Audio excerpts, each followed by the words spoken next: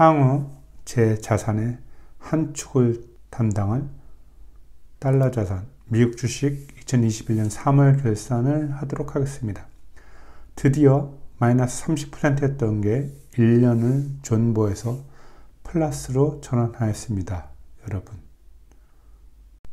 이번 달에는 제가 XLK 세 주를 한 60% 정도의 수익률을 얻고 매도를 해서 382달러를 확보했습니다.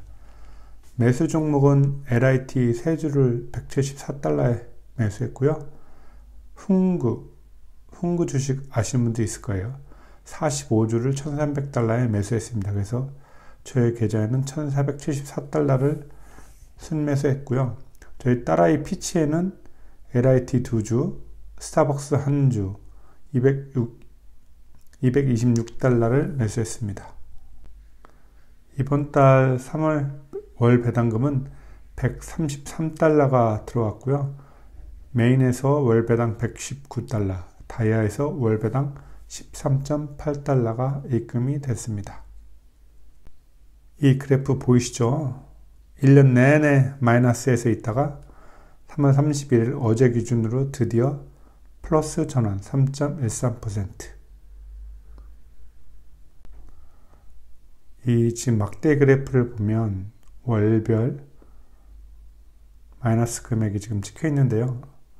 지난 1년 동안 이렇게 마이너스에도 버틸 수 있었던 건 제가 꼬박꼬박 배당금을 받았기 때문입니다.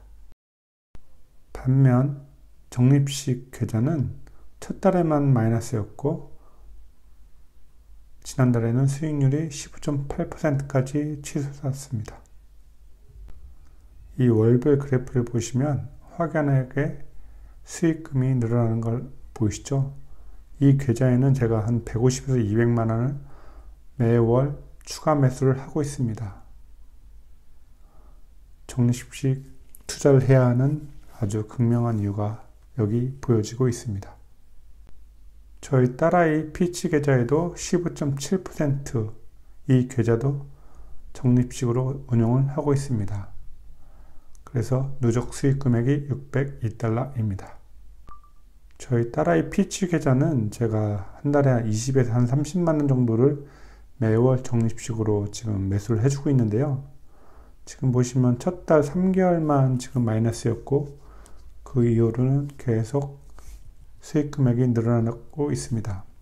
이렇게 적립식 우량주를 투자하는 건 느리지만 복리의 효과를 누릴 수 있습니다.